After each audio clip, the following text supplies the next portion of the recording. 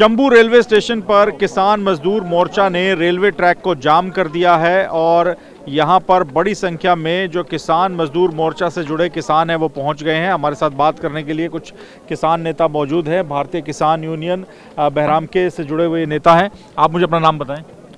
हमारा नाम है बलवंत सिंह बहराम के। बलवंत जी किस किस किन मुद्दों को लेकर आपने रेलवे ट्रैक जाम किया? पहले शंभू बॉर्डर पर सड़क पर तो आप पहले ही धरना लगाकर बैठे हुए हैं। पिछले दिन ही हमारे तीन नौजवान हरियाणा के, पंजाब की हदूद में जाके प्रशा हरियाणा के प्रशासन ने उसको गिरफ़्तार किया इंटेरोगेशन की, और बाद में उसको जेल में डाल दिया। बेकसूर नौजवान थे। हम उसी दिन से पंजाब सरकार, हरियाणा सरकार, केंद्र सरकार से ये बोल रहे हैं अल्टीमेट दे रहे हैं, हमारे नौजवानों को छोड़ दो। बेकसूर हैं। और उसका जो सारा कुछ है, निकला भी इसने, जो कुछ प्रोसेस किया है, जो कुछ उसे तहकीकात किया है, वो बेकसूर निकले हैं। जानबूझ के जेलों में डाल रखा है और लगातार 20 दिन को 20 दिन से लेकर के हम बोल रहे हैं, किसानों को छोड़ दो, किसानों को छोड़ दो। पहले हम नौ दिन की काल दी और बोलते हैं, तुम रुक जाओ, हम दस को छोड़ देंगे। फिर दस की काल दी, बोलते हैं, सोलह तक रुक जाओ, हम छोड़ देंगे।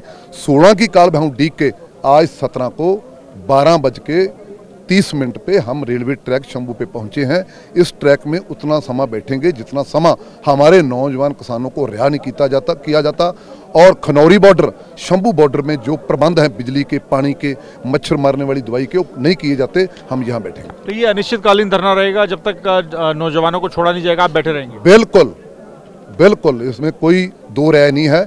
हम तभी तक बैठेंगे जब तक हमारे नौजवानों को नहीं किया जाता अच्छा अभी सिर्फ़ ये आपने दिल्ली अमृतसर दिल्ली जम्मू रेलवे मार्ग जाम किया है। आगे जो बाकी रेलवे ट्रैक है उनको भी जाम करने की कोई तैयारी है? अगर आगे सरकार ने बात अगली काल हमारे आगू बैठेंगे मीटिंग करेंगे। जो सहमति बनेंगे वो आपको बताया जाएगा।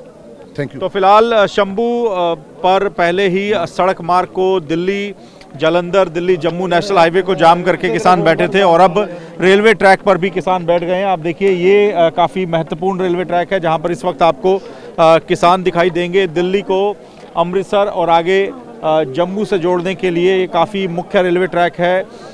जिसके ऊपर शताब्दी वंदे भारत जैसी ट्रेन भी चलती हैं, लेकिन फ़िलहाल ये रेलवे ट्रैक पूरी तरह से जाम कर दिया गया है और किसान यहाँ पर लगातार बैठकर धरना लगा रहे हैं। उनका कहना है कि किसान आंदोलन जो टू था, किसान आंदोलन 2.0 उसमें जो उनके नौजवान किसान नेताओं को गिरफ़्तार किया है, हरियाणा पुलिस ने उनको जल्द से जल्द रिहा किया जाए, नहीं तो ये धरना अनिश्चितकालीन के लिए जारी रहेगा।